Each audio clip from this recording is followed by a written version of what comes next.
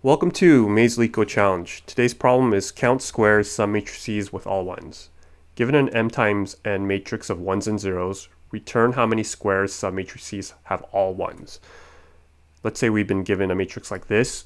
Uh, at point this point here, you can see that there's a one by one matrix square of ones, but there's also a two by two matrix of ones and also a 3 by 3. So at this point, there's actually a total of three possible squares with all ones. Here, there's going to be itself as well as this square here. So there'll be two squares and so on and so forth with a total of 15 in this entire matrix. In order to solve this, you could simply write a multiple for loops and check at every point to see how many ones total, like all are going to be ones. So at here we can check um, it's a zero, so we can just skip that. Here we can check, okay, there's at least one square. What about the two by two? What about the three by three? And do that for every single point. But that's tricky and also inefficient because you'll be writing a lot of for loops to get that to work. What if we changed our thinking a little bit? Instead of starting, considering this to be the starting point, what if we considered that to be the starting point? Well, then slowly uh, some sort of dynamic programming solution comes to mind. The only thing we need to check really is is the point at the top and the point at the left and the point right here diagonally all ones or, or at least greater than zero. And if that's the case, then we know that there's at least one more square here. So think about that for a second. Like if we just checked here to see, okay, how many sub like sub squares of ones uh, are are in this square here, we can traverse through the array and kind of sum up how many squares at each point that we could have summed up. And if we did that slowly, we begin to see this greedy method occur, um, and we can take the minimum point, well, okay, so say we checked here, and if all three of these points are greater than zero, take the minimum one out of these three and add it to this matrix here. And now that's going to be a two. And what that tells us later is when we move down here, we can check the same thing. And if all of those are greater than zero, we'll take the minimum point because that's going to be the minimum number of squares that were in all the subsquares before that and add that here. And that actually allows us to so slowly build up the number of subsquares there are. And we can do that in one pass. We don't have to do these recursive sort of calls or, or multiple for loops.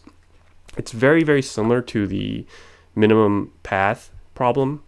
And hopefully it'll start making sense as we move forward. So like imagine we had a matrix like this, right?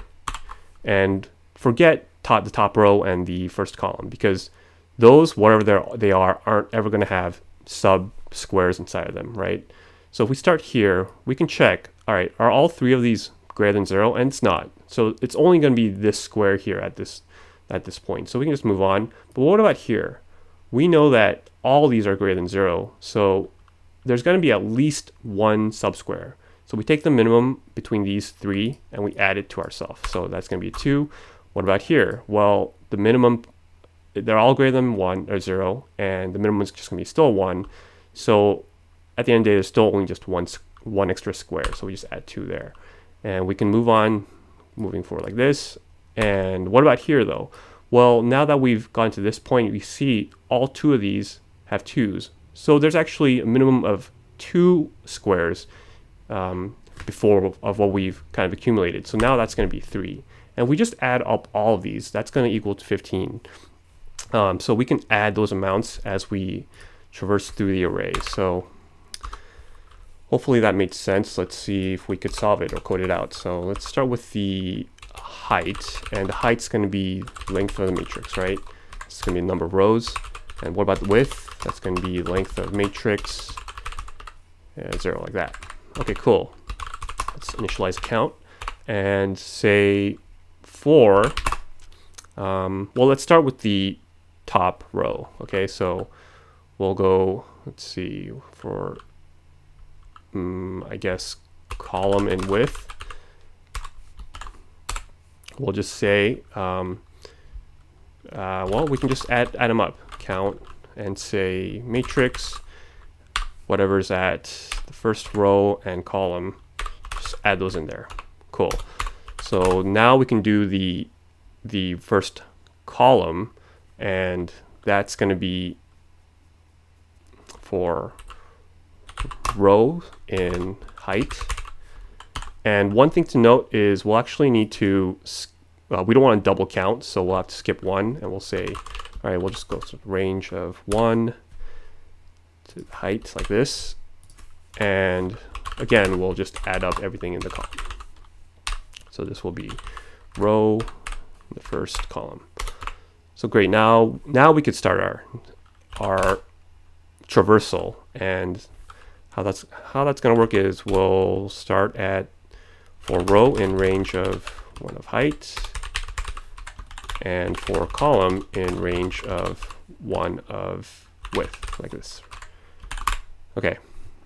Now what do we need to check? Well, first we need to check if this is even equal to one because if it's not then it doesn't matter. We can just go ahead and move on. Um, so if matrix of row column, I'm gonna copy paste that because I'll be writing that a lot. Uh, if it equals one and if the top is greater than zero and the left is greater than zero and the diagonal is greater than zero. So to get that to work, we'll say top, the call to, oops, to our left, and to our diagonal. All of these are greater than zero. And then we know that there's at least one more, um, one more sub square at this point. So what we'll do is we'll take the minimum between these three and we'll add that to our count. So count goes plus equals the minimum um, between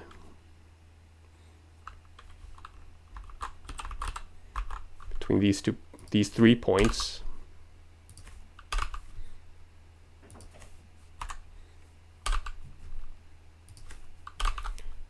okay and then after that we can just add our um, point here so if it's like whether it's 0 or 1, we can just add that to our count, and that'd be fine. So that should solve everything. Let me see that actually worked.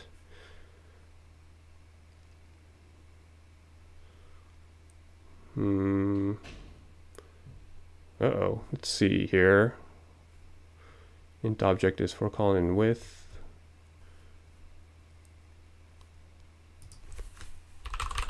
So I must have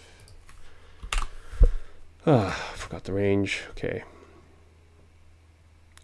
Uh-oh. So looks like we skipped one.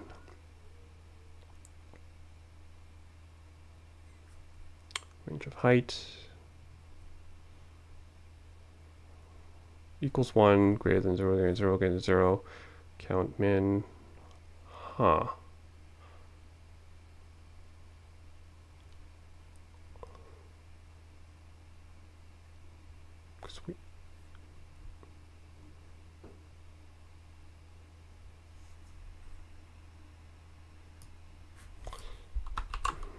So let me try if that works.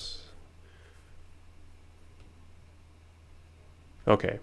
Yeah, so I, I forgot that you actually need to update the, comp the index itself. And okay. So did get accepted. It's it's a little bit hard to explain, uh, but it's really similar to the minimum minimum sum path problem. Uh, the only difference is we'll also need to check the diagonal point because in the minimum path problem, all you can do is go down or right. But here we'll also need to check this diagonal point here, but we don't need to check everything from the back because we'll be iter like iteratively summing those up as we go along. Okay, thank you.